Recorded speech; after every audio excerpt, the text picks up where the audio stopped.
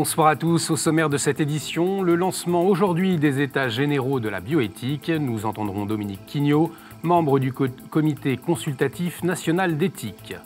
C'est à nouveau l'angoisse pour les habitants de la ville d'Alep en Syrie après la reprise des bombardements. Témoignage dans ce journal du médecin et mariste bleu Nabil Antaki.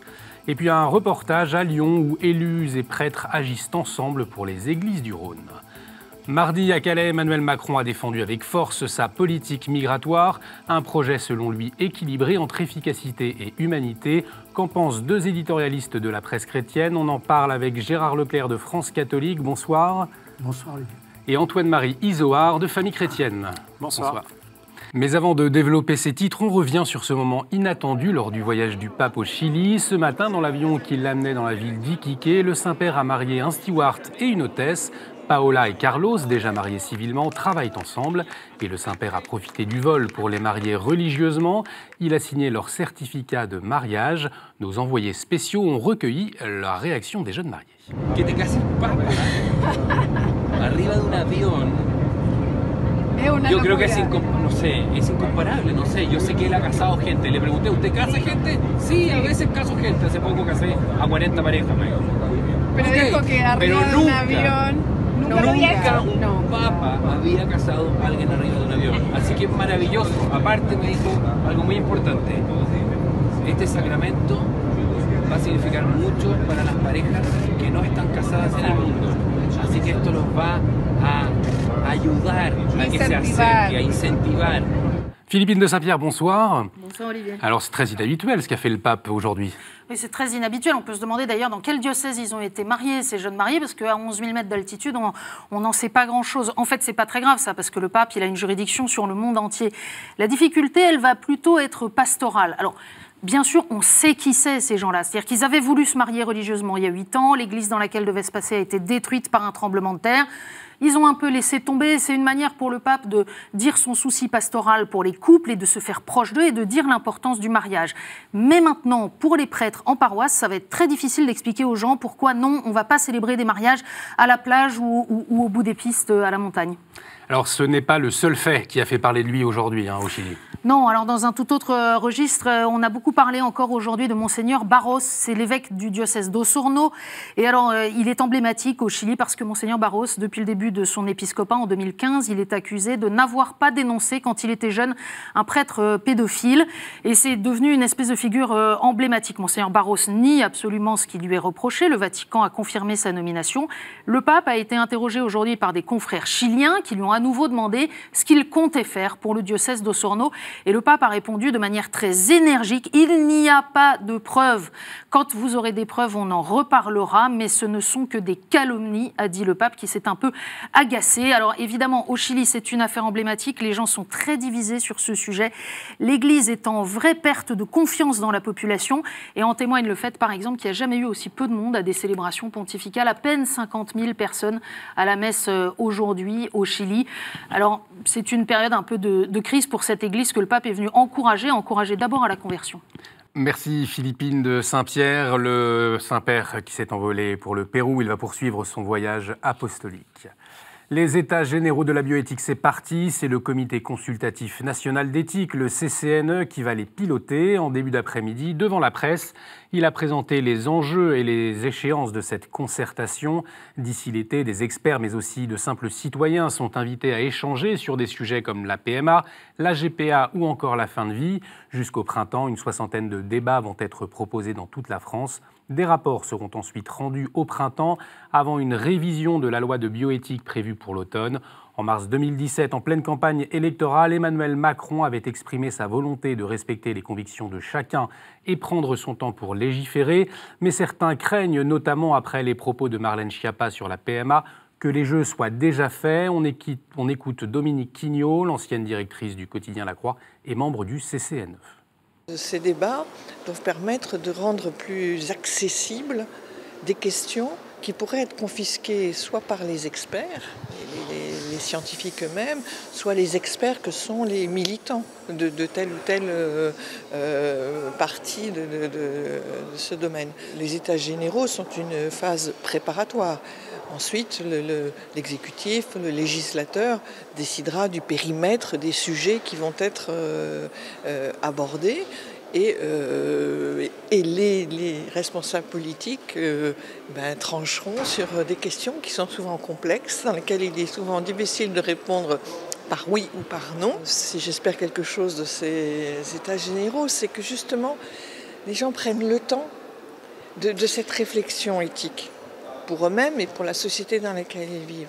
Ils essaient d'élaborer avec d'autres les raisons pour lesquelles ils sont pour ou les raisons pour lesquelles ils sont contre. Donc les temps de débat, ils ne sont jamais euh, inutiles.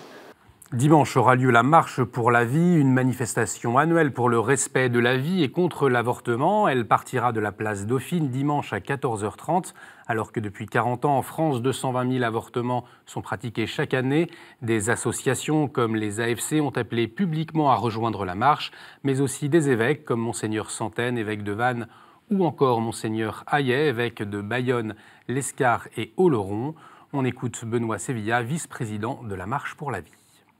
La marche pour la vie, ça n'est pas une, manifestation au sens strict du terme, c'est-à-dire qu'elle euh, effectivement, elle ne porte pas de, revendications économiques précises, euh, elle ne défend pas des intérêts catégoriels, euh, elle ne combat même pas, j'allais dire, une idéologie ou une opinion, elle ne fait que décrire une réalité. Les conséquences de l'avortement, elles sont désastreuses aussi bien pour ces, mamans qui malheureusement sont obligées de se séparer de leurs enfants, mais aussi pour leur famille et puis pour le corps social.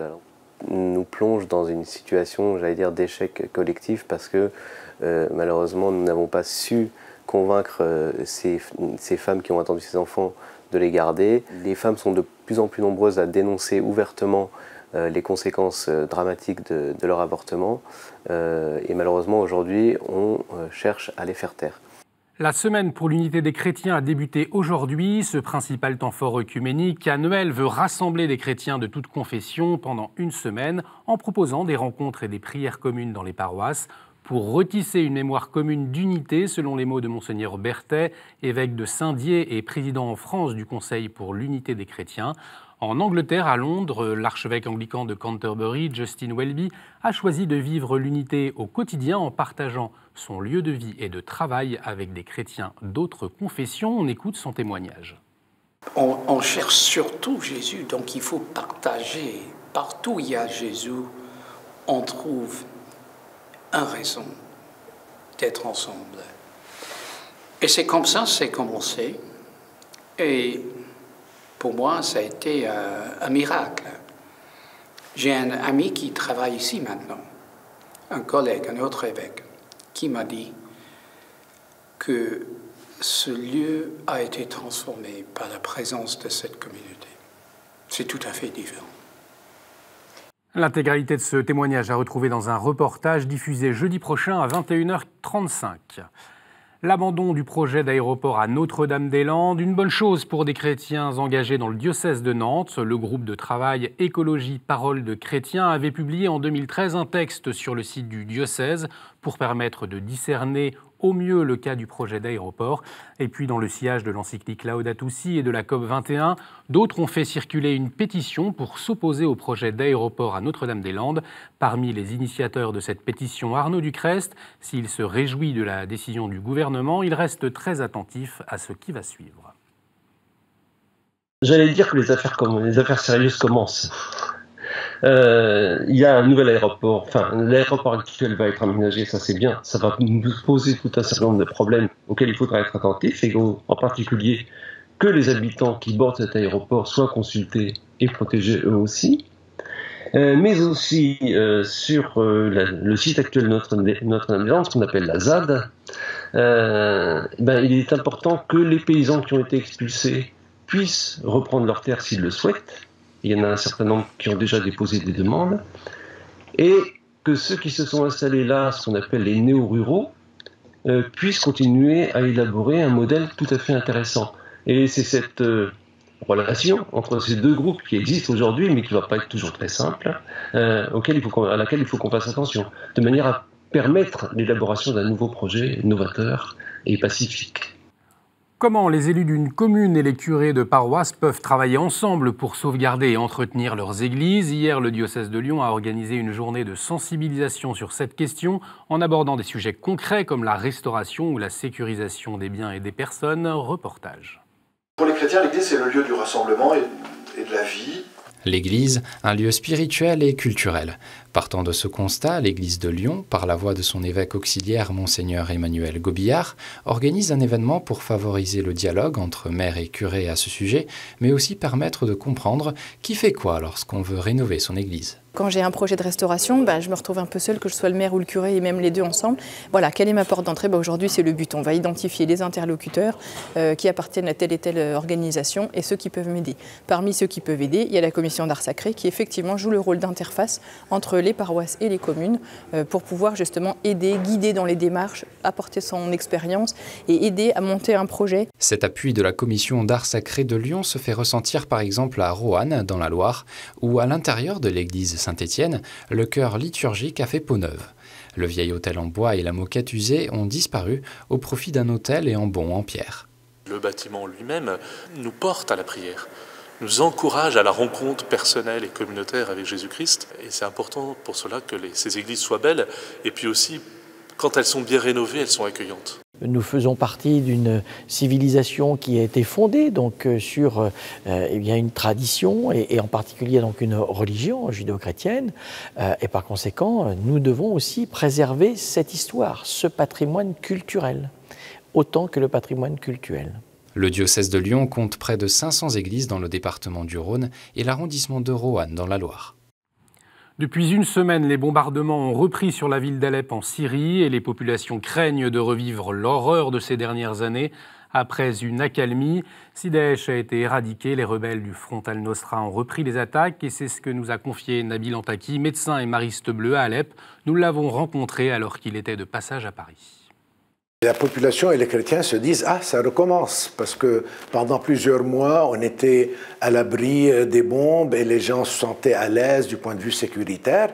Et là, tout le monde a la frousse Ah, si ça recommençait de nouveau, comme ce que nous avons enduré pendant cinq ans, comme bombardement quotidien et comme euh, victime quotidienne. Maintenant, il s'agit de libérer le reste de la Syrie d'un groupe qui s'appelle Al-Nosra, qui est aussi terroriste que l'État islamique, euh, sans faire beaucoup de publicité, mais ils sont aussi fanatiques et extrémistes que les, que les gens de Daesh.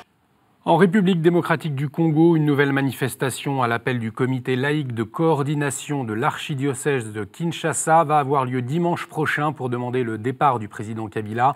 Une marche sous tension puisque les revendications sont les mêmes que le 31 décembre dernier. La répression avait fait six morts, notamment dans la paroisse Saint-Alphonse de Matete que vous voyez à l'écran où les militaires avaient tué deux fidèles. Après les catholiques, ce sont les protestants mardi qui ont interpellé les autorités sur la question de la gestion du pays. Cela fait 40 ans, presque jour pour jour, qu'il a pris sa place dans beaucoup de foyers catholiques de France. Et pour cette date anniversaire, l'hebdomadaire Famille chrétienne a décidé de faire peau neuve. La toute nouvelle formule est sortie aujourd'hui. Notre journaliste Olivier François a pu assister à sa préparation. Comme chaque lundi, l'équipe de production de Famille chrétienne s'affaire à la tâche. Ils doivent concevoir la maquette du prochain numéro. Mais c'est un lundi différent des autres. Jeudi, c'est une nouvelle version de l'hebdomadaire qui va faire son apparition dans les kiosques. Eh bien, en fait, ça faisait déjà plusieurs années que, que nous étions sur la formule précédente. Et on a, vu assez, assez vite, au bout de quelques années, qu'il était nécessaire de se renouveler d'avoir un ton plus joyeux, euh, plus vivant. Le magazine, qui propose un regard sur l'actualité, a de moins en moins d'abonnés. Ils sont aujourd'hui moins de 50 000. Pour reconquérir ce lectorat, une équipe travaille sur cette nouvelle édition depuis déjà plusieurs mois. Elle a choisi de revenir à son cœur éditorial, c'est-à-dire la famille. On se veut donc un magazine destiné à toutes les familles. Et les familles, c'est pas simplement euh, euh, prendre du temps pour prier, même si c'est évidemment euh, ce qui fait leur quotidien. C'est également des choses très pratiques, très concrètes, au jour le jour, qu'on vit tous. C'est l'éducation des enfants, c'est qu'est-ce qu'on va faire ce week-end. voilà, il faut qu'on réponde aussi à ces attentes de nos lecteurs, de, ces attentes très concrètes, et qu'on ne peut pas rester non plus que dans des choses euh, de l'esprit ou de la réflexion. voilà, on est aussi un magazine chrétien, donc un magazine incarné. L'incarnation, ça passe également par tout ce que font ces familles au quotidien et il faut qu'on soit présent auprès d'elles à chaque instant. L'hebdomadaire ne s'est pas contenté de refaire sa mise en page et son offre éditoriale. Une application mobile pour tablette et téléphone devrait bientôt voir le jour, opérant ainsi un tournant indispensable vers le numérique. Antoine-Marie Zohar, vous êtes le directeur de la rédaction de Famille Chrétienne. On vous connaît bien. Alors, euh, un ton plus joyeux, un ton plus vivant pour les 40 ans. Euh, oui, un directeur comblé ce soir, euh, parce qu'on a eu en main l'objet hier, l'objet Famille Chrétienne de ses 40 ans. Et donc, un retour sur les fondamentaux de famille chrétienne, être au service des familles, accompagner les familles dans la foi, comme on l'a dit aussi, les accompagner euh, dans leur vie quotidienne. Alors je, rectifie juste le fait qu'on puisse dire qu'effectivement on perd des lecteurs, mais on perd des lecteurs comme tout le monde malheureusement, parce que toute la presse catholique, et pas que, est dans une certaine érosion.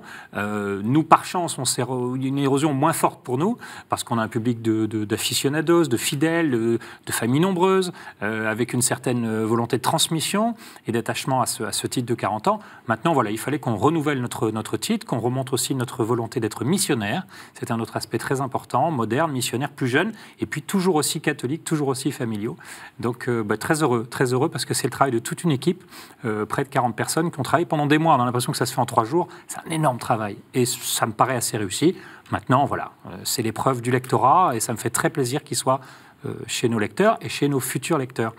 Alors, Bravo. s'abonne sur famillechrétienne.fr, je vais le dire. Bravo, merci beaucoup. On se retrouve dans quelques instants pour découvrir ce qu'il y a justement dans ce premier numéro euh, de la nouvelle version. Mais on poursuit avant avec la chronique du Père de Verre et il nous rappelle ô combien il est important de prendre soin de nos aînés.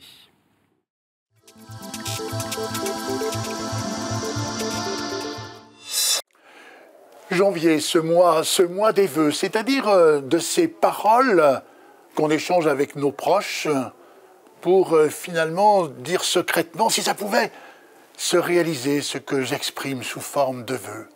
Une forme un peu de poésie, mais nous savons bien que ce qui est vrai est toujours très poétique. Alors les vœux pour cette année, ce pourrait être précisément se prendre soin des liens. Il vous souvient de la question du petit prince qui dit Mais c'est quoi s'apprivoiser et le renard de lui dire, mais s'apprivoiser, c'est créer des liens, et des liens dont on est responsable, des liens, des liens durables. Alors il y a au sein de notre pays ce qu'on appelle les, seigneurs, les personnes âgées, ceux qui sont confrontés à la perte d'autonomie et parfois en fait aussi à l'isolement, et qui se disent, mais quels sont les liens que nous avons, nous? Et on entend des personnes âgées qui se disent, mais je suis inutile, je suis une charge. Non, c'est pas possible. Ce lien-là, n'est pas, ce mauvais lien. Il faut absolument le soigner. Et précisément alors, le 30 janvier, il va y avoir euh, une journée de protestation au sein de ces établissements médico-sociaux pour dire on ne peut pas continuer comme ça. Et ce sont les acteurs de soins qui précisément demandent euh, qu'il y ait plus d'attention, pas simplement à eux-mêmes, pas d'abord à eux-mêmes, ce n'est pas une revendication catégorielle, mais c'est une défense de ceux vers qui ils s'approchent. C'est parce qu'ils ont souvent, en fait, euh, ils leur prêtent l'oreille du cœur, ils entendent bien des, bien des confidences, euh, parfois une histoire qui est partagée. Alors, euh, on en voit parfois au moment des décès de ces personnes âgées, ces soignants, on voit des larmes sur les visages, et qui se disent, mais finalement, j'ai pas eu suffisamment le temps, la dictature de l'heure qui ne m'a pas permis, en fait, d'être suffisamment attentif.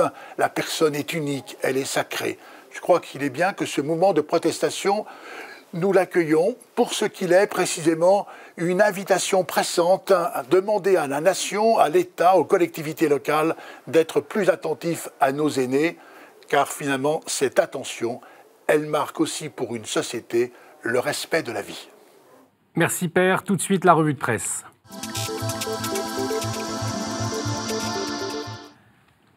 L'archevêque de Bamako au Mali, le cardinal Jean Zerbo, répond aux questions de France catholique cette semaine. Et puis dans votre éditorial Gérard Leclerc, vous nous conseillez notamment de relire Balzac, Stendhal ou Flaubert. Mais pourquoi? Ben, Pour échapper à un certain climat, euh, je dirais, lourdement sociologique. Je pense que pour comprendre la psychologie euh, féminine, notamment, il vaut mieux lire ces, grands auteurs que nos, que nos, euh, pardon, nos sociologues bourdiviens, du nom de Pierre Bourdieu. Et euh, j'ai fait cet éditorial aussi pour essayer de réinsérer une pensée chrétienne dans les, dans les grands débats à, propos des pétitions sur le féminisme, parce qu'il me semble que la pensée proprement chrétienne euh, n'a pas été très présente à ce débat. Je crois qu'il serait très, enfin, il est urgent que nous nous remettions au cœur de ce débat. Merci Gérard Leclerc. Donc nous vous le disions, nouvelle formule pour famille chrétienne. Alors qu'est-ce qu'on va pouvoir découvrir pour ce tout premier numéro, Antoine-Marie On a joué très brièvement, on a joué aux sept familles pour ce, pour ce numéro. Vous voyez ça en, couverture. En fin de compte, je vous l'ai dit tout à l'heure, hein, famille chrétienne, c'est l'hebdo des cathos qui sont engagés sur tous les fronts. Et on a voulu voir euh, avec ce jeu des sept familles euh, quelles sont ces familles catholiques, ces grandes tribus catholiques. Vous verrez comment ils sont engagés et comment ils sont différents, mais en fin de compte, unique corps de l'Église, on le sait bien. Merci Antoine-Marie Isoard. Laïcité, si on calmait le jeu, propose Pèlerin, avec une enquête auprès de ceux qui œuvrent pour apaiser les esprits dans les écoles ou dans les entreprises. Anaïs Leleu de l'association Coexister explique notamment son travail qui consiste à aider les managers et les salariés à dénouer les tensions et mettre fin aux préjugés. L'hebdomadaire protestant Réforme propose un premier bilan un an après l'élection du président américain Donald Trump. Que retenir de sa politique intérieure et étrangère, de celui souvent décrit comme imprévisible et impulsif? Analyse croisée de deux spécialistes des États-Unis, la politologue Laurence Nardon et l'historienne Maya Candel. Voilà pour votre revue de presse. Tout de suite, c'est notre dossier.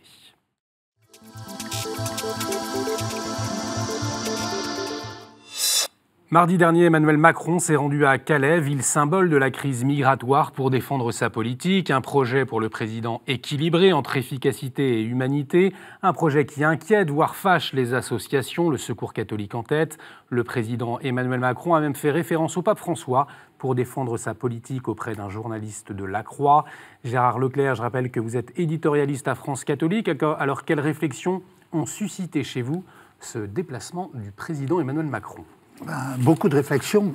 Entre autres, j'étais frappé quand même par cette opposition frontale qui existe, euh, même sur place, entre les associations euh, qui viennent en aide aux, migrants. Et par exemple, la maire de Calais, Madame la maire de, Calais, qui tient un tout autre langage et euh, qui explique combien, comment la population de, Calais est victime. Et moi, j'ai eu d'ailleurs des témoignages sur place. J'ai de la famille de là-bas. Je sais, j'ai euh, des, cousins qui ont une ferme en bordure de, route, etc. ils sont obligés de, faire la garde jour et nuit, ne serait-ce que pour préserver leur récolte. Donc on a, on a une situation tout à fait conflictuelle. On a deux langages qui s'opposent. Et évidemment, le, politique est en charge du bien commun, il doit tenir compte de ses oppositions. Une situation conflictuelle, deux regards qui s'opposent, entre ah oui, effectivement, ces oppositions, puis une forme de pragmatisme, évidemment, inévitablement en politique chez Emmanuel Macron. Euh, mais en même temps, cette, ce soutien et en même temps, euh, je l'utilise à, dessein, la, fermeté. Euh, pourquoi? Avec les forces de l'ordre pour dire, ben, je vous soutiens, je soutiens votre action, mais attention, s'il y a eu des, des exactions, il y aura des sanctions. fermeté, soutien. fermeté avec les associations, attention, si vous soutenez, vous aidez à partir des, des, migrants en Grande-Bretagne, si vous empêchez l'entrée des centres d'hébergement, et en même temps soutien parce que votre travail est fantastique. Enfin, après, on a vu que sur place à il y a eu quand même un blocage très dur. Je pense au point d'eau, par exemple, avec Secours catholique, les douches l'été dernier. On, se pose quand même des questions là, entre humanisme et, pragmatisme. Et puis, euh, euh, en même temps aussi, compassion et rappel des règles avec les migrants. Donc on, on sent bien que là, il y a une vraie tension et qu'Emmanuel Macron, en fin de compte, se prend de plein fouet un sujet qu'il n'avait pas prévu pendant sa campagne électorale, parce qu'on a très peu, globalement, euh, parlé des migrants pendant la campagne électorale. Probablement encore mieux euh, pour Emmanuel Macron au deuxième tour, parce que c'était très, très, très, très dangereux pour lui. Mais de fait, cette main de fer dans un gant de velours, elle est difficile à tenir pour un, pour un responsable d'État. Et puis on voit qu'à gauche et à droite, personne n'est vraiment d'accord avec Emmanuel Macron au final. On va revenir au discours des associations. Vous, comprenez leurs craintes et ils disent clairement hein, un manque d'humanisme de la part du gouvernement. Oui, euh, il y a des témoignages qui me paraissent évidents. D'ailleurs, euh, comme il vient d'être dit, euh, Emmanuel Macron a, mis en garde les forces de l'ordre contre, les bavures. Il est certain qu'une politique dissuasive à l'égard des, migrants aboutit à, des conflits, à des, choses qui ne sont pas très, très belles sur, le terrain. Alors, et en même temps, il s'agit de, comment dirais-je, de, tenir les, deux, bouts de la chaîne, comme disait l'autre. Euh, et comment, comment mener une politique qui soit humaine, qui tienne compte du droit, du droit aux migrants à, être reçus dignement, et puis en même temps euh, voir les choses aussi à, plus longue échéance. Parce que ces gens-là, est-ce qu'ils vont rester chez nous? C'est un, des, problèmes. Est-ce qu'ils ont vocation à rester chez nous? Et là, le, problème est considérable parce qu'il euh, est lié à l'avenir de l'Afrique, et du développement de l'Afrique si l'Afrique ne, se développe pas économiquement, on risque d'avoir une, avalanche, enfin un véritable tsunami. Et, comment ferons-nous face là? Donc euh, il n'y a pas seulement les problèmes immédiats à régler, mais à longue échéance, il s'agit de, comment dirais-je, de, voir comment euh, internationalement on va pouvoir aider l'Afrique à se développer. Pour en revenir au, plan national, le président Emmanuel Macron a fait référence au pape François quand il s'est confié à un journaliste de la Croix. Qu'est-ce que ça vous évoque, Antoine-Marie Ça évoque qu'il essaie de récupérer, je le dis euh, en, toute, en, toute, sympathie, mais très logiquement, il essaie de récupérer pape François euh, sur les sujets qui l'arrangent. Euh, on lui rappellera éventuellement deux, trois points du pape François sur la défense de la vie, mais dimanche, avec la marche pour la vie, pourquoi pas? On l'entend moins, le pape François, là-dessus, pourtant il en dit autant. Hein. On a l'impression que le pape ne parle que des migrants, mais on se trompe un peu. De fait, il y a une exagération aussi des médias pour dire le pape, les migrants, très bien. Le fait, il en parle très souvent. On revient à ça je crois que Emmanuel Macron veut se rabibocher avec les associations, en particulier les associations chrétiennes, dont il sait qu'elles font du bon travail, donc il parle euh, du, pape François. Il y a aussi la question de, ces associations qui sont radicalisées, qui sur des questions idéologiques, on, ne n'écoute même plus le gouvernement, ne veulent plus accepter du tout la, politique du gouvernement. Il y a quand même assez de sérieux dans la politique du gouvernement. On peut euh, tacler un peu d'autoritarisme euh, Gérard Collomb, enfin c'est pas non plus, c'est pas non plus la, droite extrême. N'exagérons rien. Moi, ce que, ce que je vois aussi, c'est qu'il y a un risque à dire pour certaines associations radicalisées, ou, parfois ou presque, ou idéologie, qui, qui, tombent dans l'idéologie, c'est l'asile pour tous, un peu comme on a eu le mariage pour tous. L'asile pour tous. L'asile pour tous, on flingue, pardon de ce terme, mais on flingue l'asile, le droit d'asile. La France est un état de droit, il faut secourir ceux qui sont là, mais il y a un moment où, euh, soyons pragmatiques, réfléchissons bien à ce que l'on fait. Euh, le fait est qu'il y a sur les, sur les demandeurs d'asile qui sont déboutés, j'entendais il n'y a pas longtemps qu'avec que, que 10% qui était reconduit à la frontière. Il y a là, il y a là un vrai problème. Gérard Leclerc. Oui, ben, un problème qui, n'est pas nouveau et aucun des gouvernements précédents n'était euh, en capacité de le, euh, de, le résoudre. Est-ce que Macron va, réussir? Je ne sais pas, mais il y a quand même euh, du côté du gouvernement, de son côté à lui, il y a une volonté très offensive avec, une loi, un projet de loi qui, enfin, qui, pose des problèmes, qui suscite pas mal des, oppositions, mais qui est, qui est significative d'une volonté une vraie volonté politique. Ils viennent de, faire une, prendre une décision importante hein, en ce qui concerne l'aérodrome Notre-Dame-des-Landes. Là, il y a une décision encore plus forte à prendre dans ce domaine. On verra euh, comment, comment cette loi va, va se formuler et quelles en seront les conséquences directes. Merci beaucoup Gérard Leclerc, merci beaucoup euh, Antoine Marie d'avoir partagé vos points de vue. Merci à vous de nous avoir suivis. Vous pouvez revoir cette émission sur notre site internet www.ktotv.com et aussi réagir avec le hashtag à la source. Merci pour votre fidélité. À la semaine prochaine.